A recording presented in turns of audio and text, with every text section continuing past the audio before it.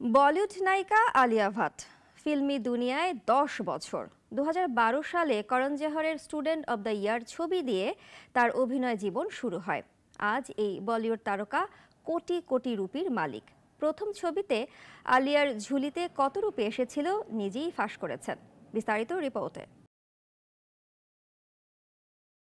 মাত্র উনিশ বছর বয়সে আলিয়ার ক্যারিয়ার শুরু। এই মুহূর্তে তিনি বলিউডের সর্বোচ্চ আয়কারী নায়িকাদের একজন। সম্প্রতি এক পত্রিকায় সাক্ষাৎকারে আলিয়ার অভিষেক ছবি, স্টুডেন্ট অব দ্য ইয়ার এর প্রসঙ্গ উঠে এসেছে। এই সময় তিনি তার প্রথম ছবির পারিশ্রমিক নিয়ে কথা বলেন।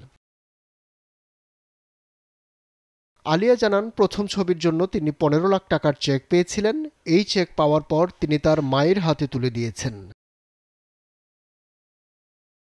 চোদ্দই এপ্রিল ঘরোয়া অনুষ্ঠানের মধ্য দিয়ে প্রেমিক রণবীর কাপুরকে বিয়ে করেন আলিয়া। এখন তিনি মা হতে চলেছেন। বিয়ের পরও মায়ে আলিয়ার অ্যাকাউন্ট সামলান। এই বলিউড নায়িকা এই প্রসঙ্গে আরও বলেন, তিনি জানেন না তার কত টাকা আছে। তবে জানান, তার অ্যাকাউন্টে অনেক টাকা আছে। তার হাত থেকে খুব সহজে টাকা বের হয় না বলেও জানান তিনি।